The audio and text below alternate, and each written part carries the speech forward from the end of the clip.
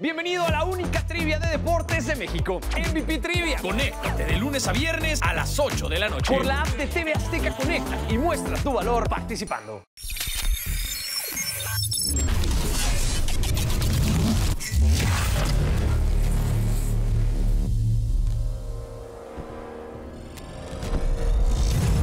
Hoy en Extra Normal, analizaremos las evidencias más impactantes enviadas por el público.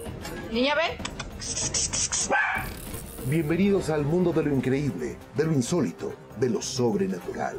Soy Juan Ramón Sáenz y aquí se respira bien. Se cumplieron ocho años de la muerte de Juan Ramón Sáenz, un ícono de los relatos del terror en México. Su última investigación la hizo con Extra Normal y aún sigue el misterio que rodea su repentina muerte. Gente asegura que fue víctima del mismísimo Satanás.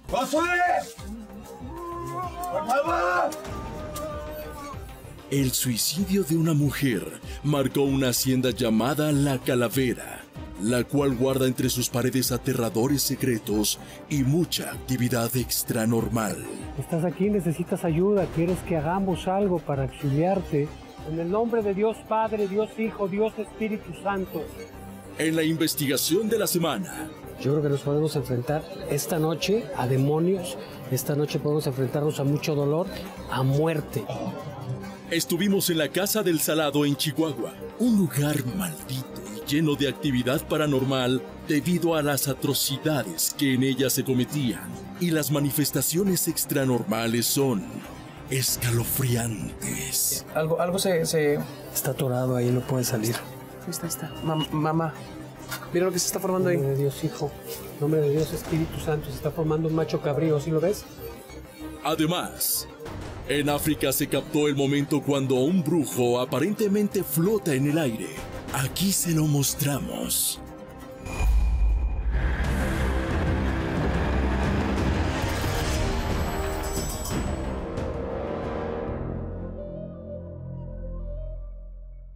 Buenas noches, bienvenidos a Extra Normal Sin Fronteras. Soy Vania Manzano y me complace presentarles a los mejores especialistas y los más queridos de México. Octavio Lizondo, muy buenas noches, bienvenido. Muy buenas noches, muchas gracias. Como siempre, un honor estar aquí en este panel, acompañarlo hasta sus hogares y de verdad no se mueva de su lugar porque el programa de esta noche está escalofriante.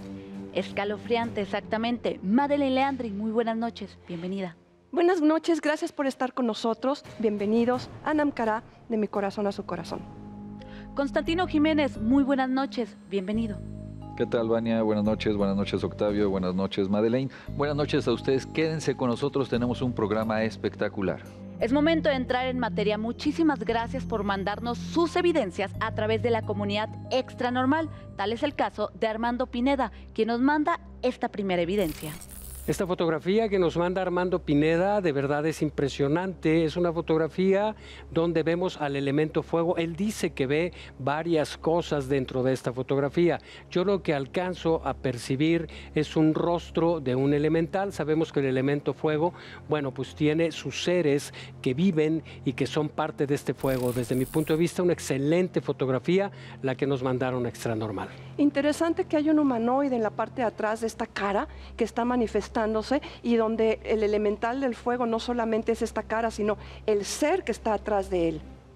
Aquí lo que hay que considerar también es eh, que con el fuego no podemos jugar y no podemos estar esperando tomar fotografías y hacer un incendio. Ha habido muchos incendios, ha habido muchas tragedias y también ese demonio que se está presentando ahí puede ser el mismo demonio de la destrucción, el demonio de la curiosidad. Así es que con el fuego no se juega. El siguiente contacto es enviado por Araceli Herrera. Veámoslo. Esta fotografía es interesante verla. Esta fotografía supuestamente se captó en un espejo a una entidad oscura. Déjame decirte que yo tengo mis dudas, no sé si sea un fotomontaje, porque se ve muy clara esta situación, no necesariamente porque sea clara no va a existir, pero mi corazón dice que no es una evidencia extra normal. Demasiado definida la imagen, ¿no? Demasiada como montada. Yo definitivamente creo que es fake y no, no es algo que me inspire mucha, mucha energía, que yo sienta, perciba energía en esa imagen. De hecho, se alcanza a ver un poco pixeleado ahí a un lado de donde está esta esta sombra negra, entonces pues simplemente también puedo opinar que no, no me inspira nada extra normal. El siguiente es un video enviado por Jazz Sánchez. En este video podemos apreciar que se encuentra una casa, hay un perrito y ese perrito le está ladrando a nadie, no hay nadie vivo que se encuentre ahí, pero sabemos que estos animales tienen la capacidad de ver lo que el ser humano no ve, ver otro tipo de planos dimensionales donde habitan otro tipo de seres y creo que puede ser algo así. En ningún momento se ve que el perro esté agresivo, creo que lo que él está viendo, la presencia que está viendo, no es mala. Efectivamente, lo que está percibiendo en este momento este animal peludo, como le suelo decir a los perros y a los gatos, y pueden percibir no solamente seres muertos o angelicales, sino también eh, lo que es la presencia psíquica, la proyección astral de otra persona, que puede ser para bien o para mal, y siempre hay que estar muy al pendiente de lo que están manifestando estos animales. Y por último, Uriel Sanabria nos envía la siguiente fotografía. Esa fotografía también es muy interesante. Sabemos que en nuestras casas, en nuestros hogares, hay lugares que no abrimos mucho. Ahí yo estoy viendo pues un lugar donde acomodan ropa, guardan ropa, no le da mucha luz y eso puede ser eh, un factor preponderante para que una energía se pueda manifestar. Si se ve un rostro en este closet, en este armario, se ve algo oscuro que está ahí y pues qué excelente fotografía nos mandaron aquí extra normal. Sí, excelente fotografía, pero yo tengo mis dudas de que sea efectivamente real. Está demasiado definida la cara, se ve como un duende y bueno, generalmente estos elementales viven en las puede ser hasta una máscara no hasta una máscara puede ser algún algún este otro elemento. Definitivamente para mí es este fake no estoy no es algo que me convenza. Mm, puede ser, pero fíjate que en la madera, sobre todo también en la ropa, se llegan a plasmar ciertas energías. Si fueron en un momento dado un sepelio, a una fiesta, a un evento donde se pudo haber adherido a una energía, ahí está.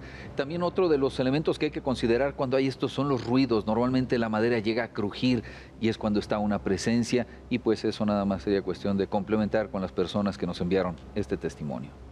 Muchísimas gracias por enviarnos todas estas evidencias. Entremos en materia con la primera investigación de la noche, la cual se realizó en una hacienda abandonada, donde posiblemente ronde el alma en pena de una mujer. A las afueras de la ciudad de Guadalajara se encuentra una hacienda llamada La Calavera, la cual fue testigo del lamentable suicidio de una mujer que murió ahorcada en el lugar hace 300 años. A partir de entonces se dice que esta hacienda guarda entre sus paredes espíritus atormentados que salen de noche por el lugar. Así lo asegura una de las trabajadoras del lugar. Acá en donde están las escaleras he sentido como que me persigue alguien. He escuchado yo como que dicen cosas bajito, pero no, no les entiendo. Hace rato que estuve sola, estuve mucho rato y sentía, sentía como que andan detrás de mí. De hecho, ahorita estoy sintiendo escalofrío. Yo no sé si haya algo acá atrás o, o no sé, pero se me enchina el cuero. Sentí como que me atentaron así el brazo. Se me enchina me da como escalofrío, como que alguien hay atrás. Yo pienso que hay espíritus.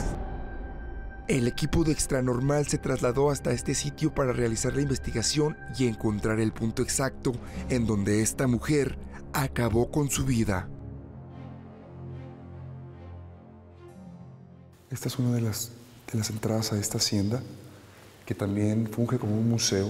La gente cuenta que aquí, Octavio, se siente la energía pesada por lo mismo, porque aquí no estamos hablando de, una muerte cualquiera, sino de un suicidio. De un suicidio, de un suicidio que a pocos metros de aquí ocurrió. De verdad que, que se siente la energía de este lugar fuerte, densa. Estamos en un punto de la hacienda Cuidado, cuidado, cuidado, cuidado. me acaban de aventar, cuidado, ¿eh? Cuidado, cuidado. ¿Verdad me aventaron? Estoy bien, estoy bien, estoy bien, pero me aventaron, ¿escuchaste? Observe de nuevo cómo nuestro especialista Octavio Elizondo parece ser atacado por algún tipo de energía que ingresó en ese momento al lugar. ¿Estás bien? Estoy bien, no, no hay problema. Fuimos advertidos por la gente de este lugar que entrábamos bajo nuestro propio riesgo, tal cual palabras textuales de ellos, que porque justamente aquí pudo haber sido el lugar en donde esta mujer se suicidó. No, aquí está, está enojada, ¿eh? Escucha. Hay algo allá, chava, ¿eh? Ah, Algo entró aquí, ¿eh? De verdad, todas las arañas. Hoy, hoy, hoy, hoy, hoy, hoy. Hoy, arañas. Hoy, hoy, hoy, hoy, hoy, hoy, hoy, hoy. Hoy, arañas. Hoy, hoy, hoy, hoy, hoy, hoy, hoy, hoy. Hoy. Algo acaba de entrar aquí a este lugar. ¿Escuchaste? No, sí escuché. ¿Escuchaste a una mujer? Escuché a una mujer. Pero esos extraños sonidos parecían provenir de la parte de afuera, en donde Octavio trató de contactar con esa energía. Escucha. ¿Estás aquí? Ve el árbol. Ve el árbol, ve el árbol, cómo se mueve. Estás aquí, necesitas ayuda, quieres que hagamos algo para auxiliarte. en el nombre de. Jesús. ¿Ve? En el nombre de Dios Padre, Dios Hijo, Dios Espíritu Santo. Está pidiendo ayuda, de verdad, Joe está pidiendo ayuda. En ese momento las manifestaciones comenzaron a rodearnos, y esto fue lo que captó el equipo de Extra Normal. ¿Sientes el viento? Hoy. No estamos solos, ¿eh? ¿Sientes el viento? Hoy. No estamos solos, ¿eh? Cuidado atrás de ustedes.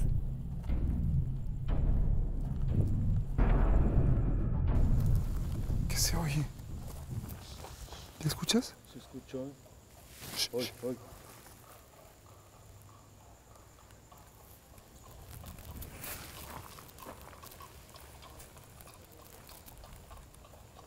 Es ahí. Cabalgando.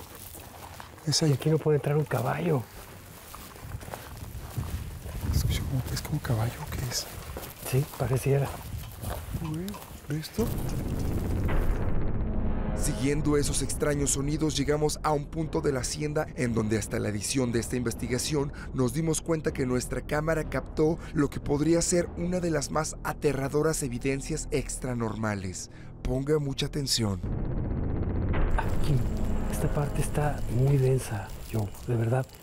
Mucho, mucho, mucho, muy densa. Pareciera ser que aquí se concentra como la- eh, los sonidos, como los ecos de... Vienen a todo, recaer. todos los exactamente. Estamos en la esquina de la hacienda. Estamos en una de las esquinas de la hacienda, esquina derecha, parte masculina.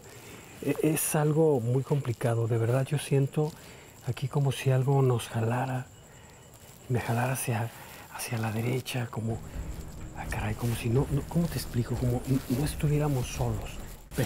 En la ventana del fondo se puede observar lo que parecería ser un rostro femenino siguiendo nuestros pasos con la mirada. Después de esta aterradora evidencia, llegamos al lugar en donde, según nuestro especialista, fue el escenario de este suicidio. Aquí es donde tú sientes que se pudo haber ahorcado esta mujer. Sí, aquí. Y siento que tengo que trabajar aquí. Y siento que tenemos de dejarle luz aquí afuera, una veladora. Ok. y tratar de purificar el espacio. En el nombre de Cristo, en nombre de la Santísima Trinidad, yo libero este espacio y libero esta hermana que perdió la vida. En el nombre de Dios Padre, nombre de Dios Hijo, nombre de Dios Espíritu Santo, consumatum est. Consumatum est. Consumatum est. Como en un principio, ahora y siempre, por los siglos de los siglos. Amén. En el nombre de Dios Padre, nombre de Dios Hijo, nombre de Dios Espíritu Santo. ¿Lo viste, Joe? Crux non dracosit mihidux. Va de retro satana. Nunca suade mi divana. Sun mala quaelivas, ipse vivas. Una vez armonizado el lugar, el silencio era abrumador y parecería que la calma había regresado después de tantos años a este lugar. En el nombre de Dios Padre, nombre de Dios Hijo. Joe Herrera. Nombre de Dios Extra normal, extra normal. Qué bueno que continúa con nosotros. Llegamos al punto medular, la investigación de la semana. En Delicias, Chihuahua, se encuentra la Casa del Salado. Conozcámosla. En Chihuahua existe un lugar encantado, conocido como la Casa del Salado. Curiosos se han acercado para comprobar lo que se dice del lugar, apariciones fantasmales, sonidos de llantos de niños e incluso presuntas apariciones del mismo demonio. Mando estas fotos porque sí se me hace muy interesante eso, como las dos, tres fotos que te mandé, que siempre la casa siempre está de noche, aunque sean las 3, 4 de la tarde, cualquier cámara que metas, cualquier tipo de, que sea buena cámara o una mala cámara, siempre las fotos salen de noche aunque sean las 3, 4 de la tarde. El equipo comprobó el fenómeno y este es el resultado. Hemos encontrado muchas imágenes, muchos audios, entonces mi llamado fue para que ustedes vinieran, dieran un recorrido y este es un lugar que siempre cualquier gente ya sabe que esta casa está, o sea, está totalmente embrujada.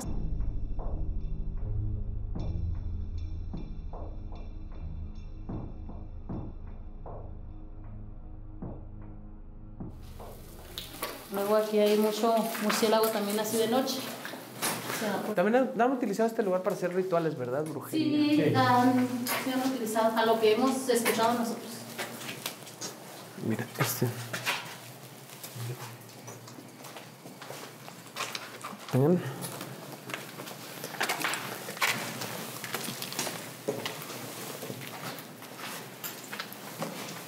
Por acá, primero por acá. Un laberinto. Qué locura. Esta es la escalera para arriba, Octavio. La casa parece un, un como laberinto, ¿es bien, Alejandra? Un poco mareada, sí. Sí me siento un poco mareada. Mira, mira dónde nos, nos, nos trajo otro, otra vez al, al inicio. Este, Octavio, pienso yo que esa presencia me está guiando a mí para afuera. Así lo siento. Te está jalando. Me está jalando para que me vaya, para que me retire de aquí. Como que no, no Mira. quiere que yo esté aquí. Escuchen. Escuchen, escuchen, escuchen.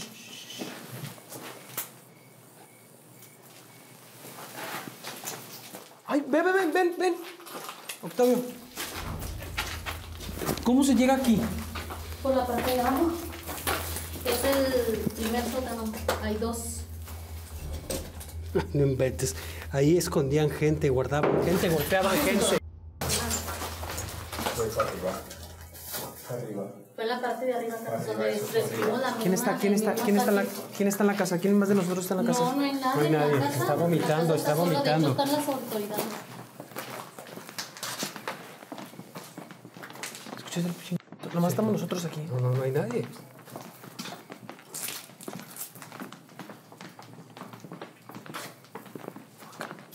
Hay que regresar por aquí.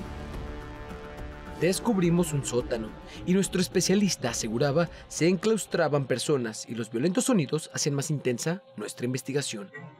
Ahí era donde esta señora abajo hay un tercer desván, que es otro sótano, donde ella enterraba a los niños que abortaba, o sea, ahí los aventaba para allá. Fetos. Fetos, fetos, fetos. Imagínate quitarle la vida a niños.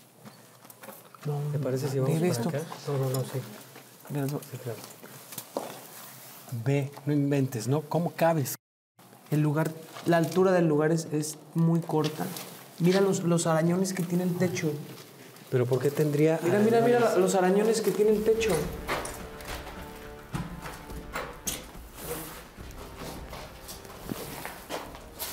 A ver, pero, pero, Carlos, ahí estaba alguien parado, ¿eh?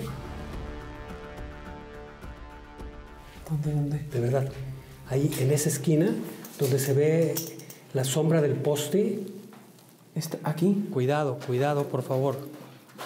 ¿Pueden echar luz? Gracias. Muchas gracias. Oye, está, está vivo. Este no, se, techo. no, se, no se pongan al centro, péguense a, la- péguense a las orillas. Está vibrando el, el techo, tóquenlo. No, está acá. Esto se Tócalo, puede caer. tócalo, Sí, tócalo. sí. De hecho, creo que pasó por ahí por la ventana.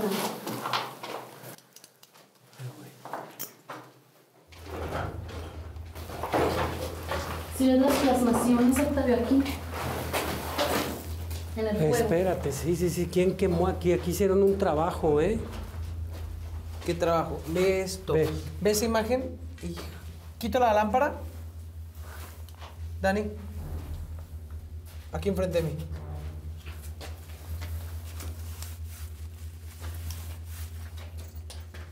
¿Qué ves, Octavio?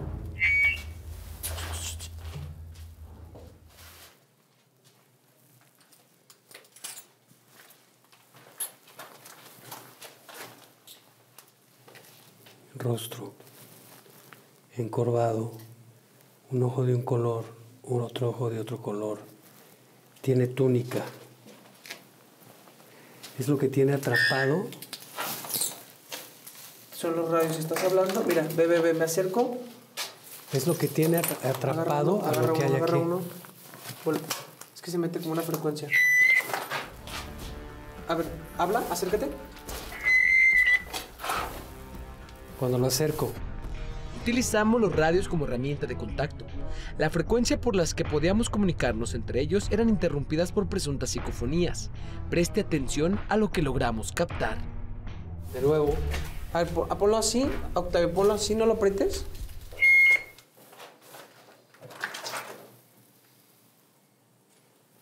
estás enojado porque estamos aquí, ¿verdad? Ven, ven, Ale. ¿Escuchaste una como voz? Sí.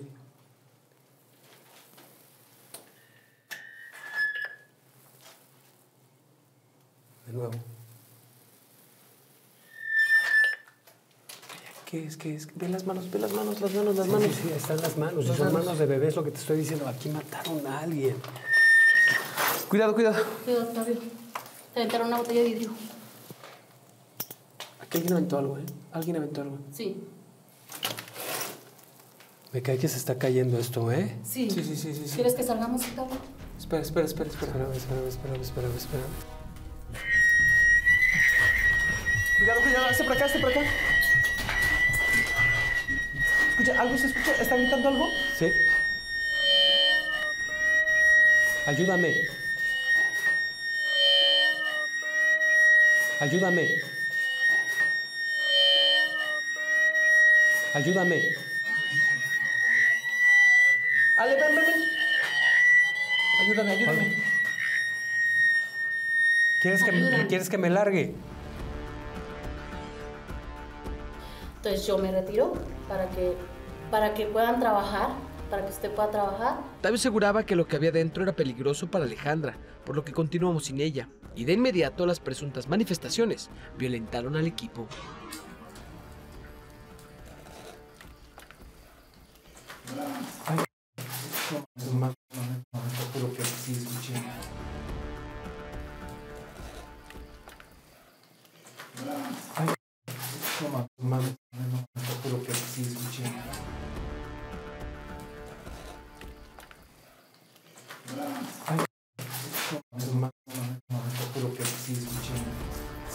Escuchaste? Sí. Acá, acá, acá. No, te lo juro, yo también lo escuché. ¿Lo escucharon? Te lo juro, güey. Te lo juro, te lo juro, te lo juro, güey. Ay, c- Está temblando la, la ventana, ¿eh? Escuchen, escuchen.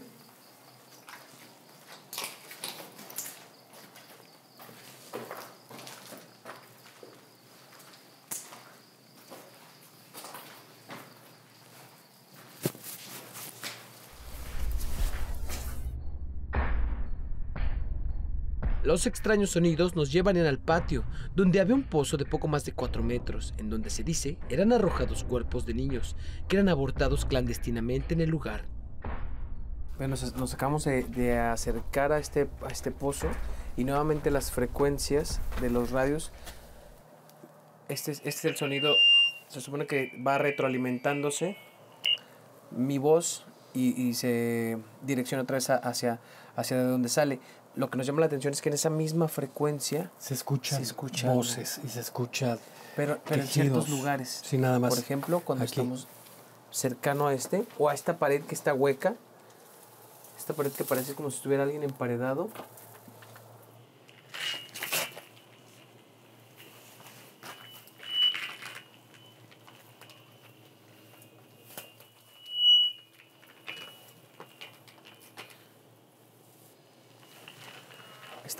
Ahí está, ahí está.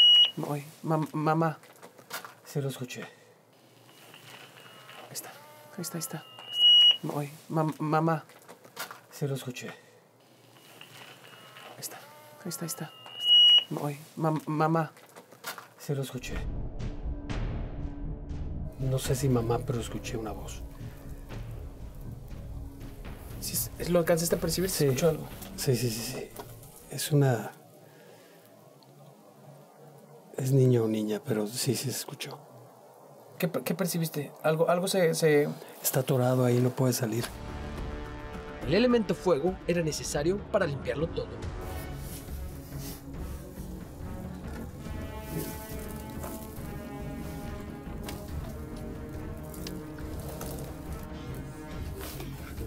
Mira lo que se está formando ahí. Nombre de Dios Hijo, nombre de Dios Espíritu Santo, se está formando un macho cabrío, ¿sí lo ves? Dios Padre, Dios Hijo. Mira, mira, mira. Dios Espíritu Santo. Perdón, ¿se quemaron? No, no, no, no, no, se está formando algo ahí. Sin embargo, el fuego se recorría por las paredes formando una especie de cabrío. Observe las colas de fuego.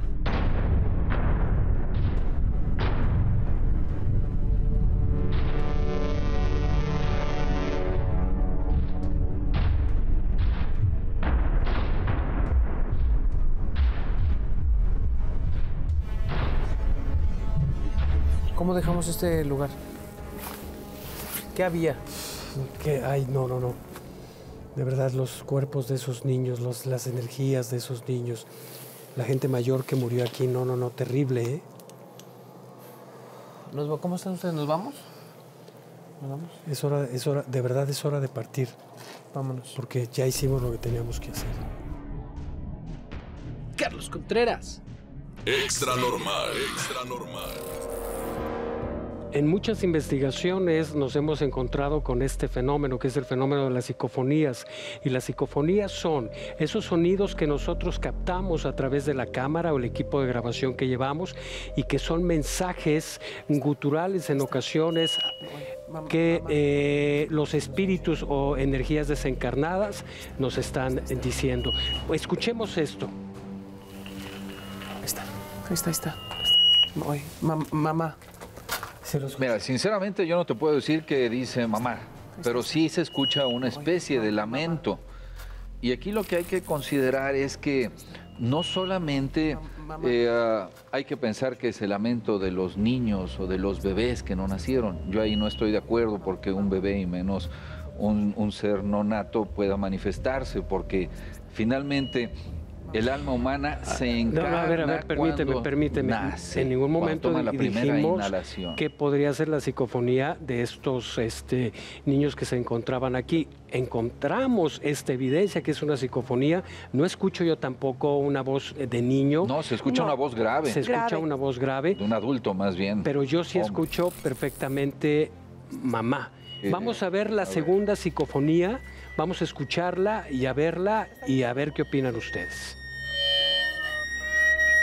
Ayúdame. Ayúdame. Ok, yo sí estoy escuchando una psicofonía mucho más fuerte, una psicofonía, es muy claro lo que está diciendo y para mí lo que está diciendo y está escuchando es ayúdame. Ayúdame. Entonces, de verdad, no sabemos, y eso sí quiero aclararlo, si sea de los niños que, que se encontraban ahí, que no lo creo, pero una cosa te lleva a la otra, el fenómeno extranormal o un lugar oscuro donde se hicieron este tipo de situaciones va a jalar otro tipo de situaciones más fuertes, Madeline. De hecho, yo siento que jala a otro tipo de energías. Esta energía de los, de los niños pudo haber sido el inicio, pero ¿quién nos puede decir y confirmar que no haya hecho otro tipo de, de- de- de entierros o de, de- o de trabajos de, brujería. trabajos, Yo de veo magia? muy pensativo a Constantino. Estás viendo la imagen, pero te quedas muy, muy pensativo. ¿No estás de acuerdo? Estoy escuchando esta voz muy grave de, de un, de una persona, de un hombre, pero me saca un poco precisamente del contexto donde se están manejando pues abortos clandestinos, donde se había dicho de niños, y aquí estamos hablando de un adulto, hombre, pidiendo ayuda. Entonces, eh, pues no sé, ahí es donde pueden ser otro tipo de, de, circunstancias que ni siquiera estamos nosotros enterados de lo que realmente se pudo haber presentado, se pudo haber presentado ahí, pero que está pidiendo ayuda. Exactamente. Vamos a ver en la siguiente evidencia, porque también es bastante fuerte. Aquí es increíble la cantidad de energía que está saliendo y de, espíritus que están en el fuego, que están saliendo a través del fuego. Cada, cada pequeña llama que se ve, que está, son son almas, son, son energías que se están yendo a través del fuego. Exactamente, y también es eso, quiero dejárselos muy en claro.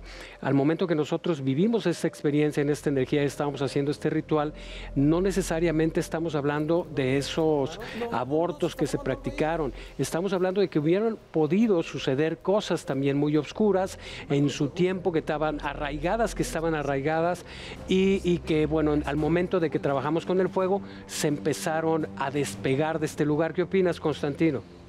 Sí, definitivamente el fuego viene a marcar una trascendencia con todas las energías y hay que tomar en cuenta que cuando se están haciendo este tipo de trabajos, no solamente se está actuando sobre esa, ese pequeño cuadro donde se está, la luz abarca pues varios eh, cientos de metros, muchas veces otras energías de otras casas, de otros lugares cercanos se acercan porque están viendo esa posibilidad de poder trascender ante un portal de luz. Todos en algún momento escuchamos los relatos de La Mano Peluda, un exitoso programa de radio conducido por Juan Ramón Sainz, quien por supuesto en su momento fue colaborador de Extra Normal y fue precisamente en esa época que lamentablemente su vida tuvo un fin misterioso. Muchos especulan que pudo ser por parte del demonio. El 19 de octubre de 1962 llegó al mundo el reconocido locutor de radio Juan Ramón Sáenz, quien destacó como productor general y voz institucional de noticieros. Fue programador, realizador y conductor del programa La Mano Peluda, producción que marcó un antes y un después en el ámbito paranormal. Bienvenidos al mundo de lo increíble, de lo insólito, de lo sobrenatural. Soy Juan Ramón Sáenz y aquí se respira el miedo. Y fue en este programa donde ocurrió un hecho que sin lugar a duda marcó su carrera, pero sobre todo su vida. Fue en el año 2002 que Juan Ramón recibió una llamada durante su programa de radio. Un hombre llamado Josué Velázquez se comunicaba desde Estados Unidos para pedir la ayuda del locutor, pues Josué decía haber hecho un pacto con el diablo a cambio de poder y dinero para superar una crisis económica. Llevo más de cinco años intentando pactar con algún demonio. Encontré un libro de brujería eh, donde decía la forma de impactar con un demonio llamado Lucifugio Rofocale. Mi objetivo principal era en un principio tener dinero, tener, tener todo. ¿Quién me podía dar todo? Pues dije que, que, el demonio, porque le pedí muchas veces a Dios y, y no obtuve respuesta. Dijo haber matado a su abuela para lograr el propósito. Pensé en mi abuela. Le dije, sí, ya está grande, ya ya vivió, ya, ya, y a mi abuela la maté. De acuerdo con su relato, las huellas del crimen desaparecieron después, pero no podía disfrutar del dinero porque los demonios lo atormentaban y declaró entre sollozos que no quería morir.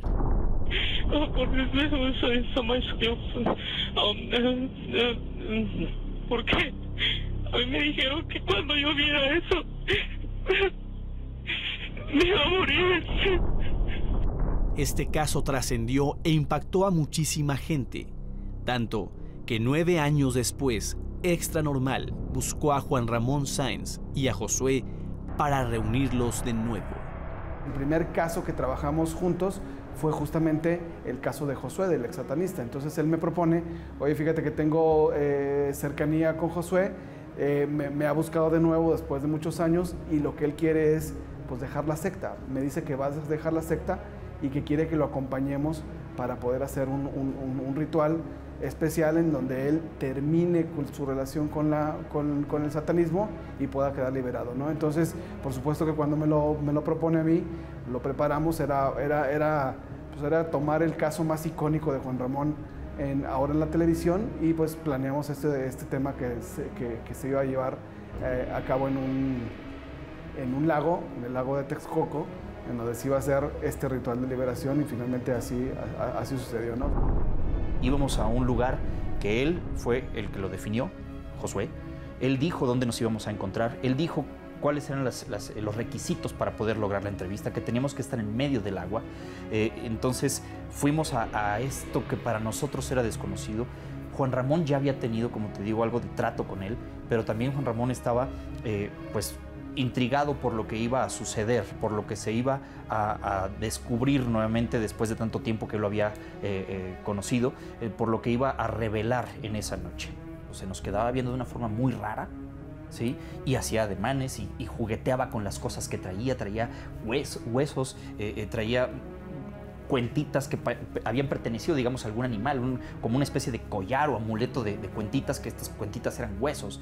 Entonces, a, a todos nosotros, a todo el equipo de producción, esto nos, nos llamaba muchísimo la atención y no nos dejaba estar tranquilos.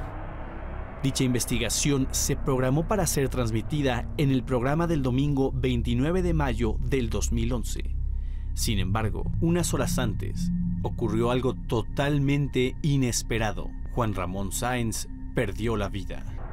Fue realmente impresionante porque obviamente nosotros acabamos de hablar por teléfono, ¿no? Y me, me comentó eh, ese día que hablé que estaba ingresando al hospital, que traía un problemita, pero dice, esto no, no es nada serio, la próxima semana platicamos. Y ya no, ya no platicamos. Entonces cuando yo me entero de que, falleció, por supuesto lo primero que hago es llamar a, a- a TV Azteca al máster para decir, oye, acaba de, padecer eh, esto Juan Ramón, acaba de, de fallecer, el programa lo tengo hoy y lo quiero detener porque quiero saber qué vamos a hacer o qué va a pasar. Desgraciadamente ya no pudimos hacer mucho, el programa se transmitió, recuerdo muy bien que se le puso ahí algunos cintillos para, para decir en, en memo- en memoria de Juan Ramón y finalmente pues ese fue el, el- el- el- el desenlace. Por supuesto, fue un gran shock para todos nosotros, para todos los que conocimos a Juan Ramón, los que seguimos su trabajo en algún momento, toda la gente en Azteca México, eh, todos, todos eh, eh, pues padecimos la, la ausencia de, de Juan Ramón. Aquellos fervientes creyentes de lo paranormal y lo satánico inmediatamente relacionaron la muerte de Juan Ramón Sáenz con la reunión que acababa de sostener con Josué durante la investigación del programa Extra Normal. Y desde aquel momento creen que Josué entregó la vida de Juan Ramón a aquel ser oscuro y maligno que lo tenía sometido, para así lograr librarse de aquello en lo que se había metido años atrás. Sin embargo, Juan Ramón no fue el único que sufrió alguna consecuencia luego de esta reunión con Josué. Tuve un accidente, sí, tuve un accidente en el que, pues bueno, este, choqué mi auto. Eh, después, el camarógrafo que fue, sí, eh, Luis Ernesto González, él fue eh, a, a- esta nota con, el equipo de Extra Normal y él tuvo una operación que, si bien la tenía programada, tuvo complicaciones que orillaron a que se le adelantara la cirugía. Eh, la muerte misma de Juan Ramón Sáenz y otros personajes que también estuvieron cerca del satanista que murieron. Y después de un tiempo fue cuando empezamos a atar cabos y nos dimos cuenta que todos estos sucesos estaban correlacionados. Y el común denominador era Josué el satanista. Sin embargo, el parte médico declara que aquel domingo de 2011, Juan Ramón Sáenz dejó este mundo a causa de un agudo cuadro de peritonitis. Y ocho años más tarde, Extra Normal lo sigue recordando como el gran relator de sucesos paranormales y pionero de este género de programas en México. Víctor Díaz. Extra normal. Extra normal. Definitivamente una muerte muy extraña, la última investigación de Juan Ramón Sáenz y quiero decirle a la gente que en esa investigación de hace algunos años en Extra Normal, también nuestro compañero reportero sufrió una agresión. Constantino Jiménez, fuerte esta situación.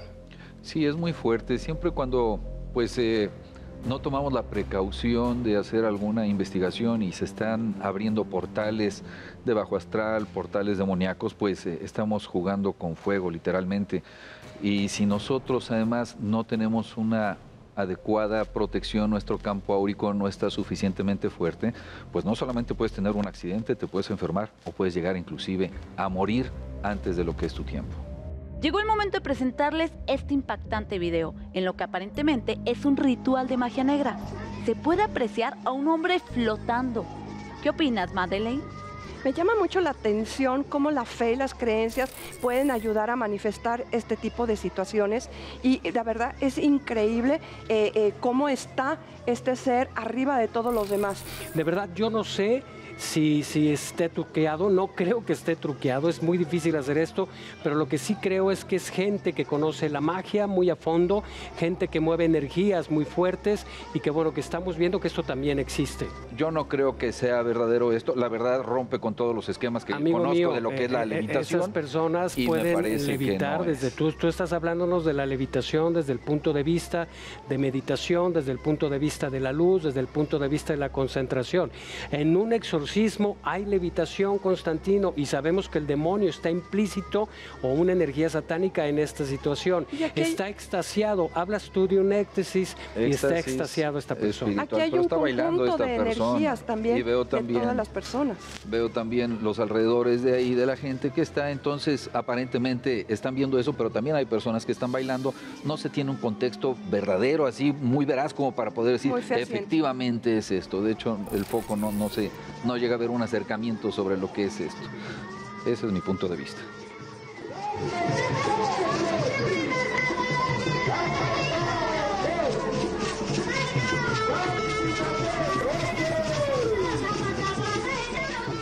Al final, usted tiene la última opinión. Llegamos al final de una emisión más de Extra Normal Sin Fronteras. Octavio Elizondo, muy buenas noches. Gracias por acompañarnos. Al contrario, como siempre, un honor estar aquí en este panel. A toda la gente hasta sus hogares.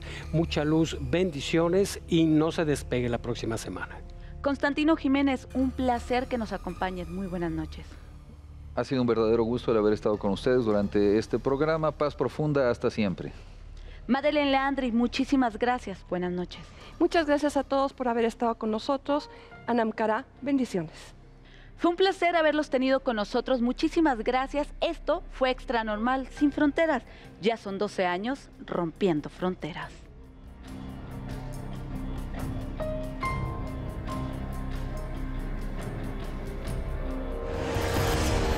Extra normal, extra normal.